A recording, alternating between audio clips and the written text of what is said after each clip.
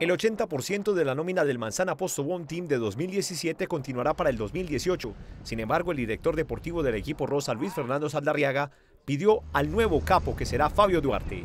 Necesitamos un, un, ciclista de más experiencia, con más años dentro del ciclismo. Lo conozco, ya he trabajado con él.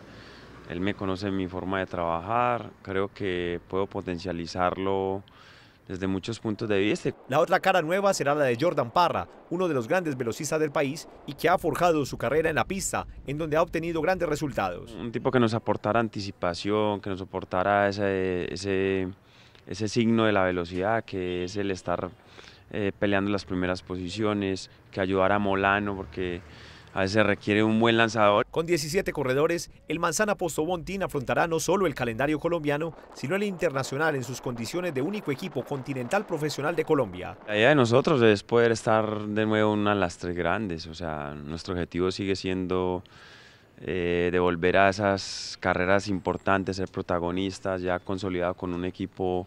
Tour de Lancawi, París-Niza, Vuelta a Asturias, Vuelta a Madrid, Castilla y León y otras carreras, principalmente en Francia, conformarían el calendario internacional de esta escuadra para 2018.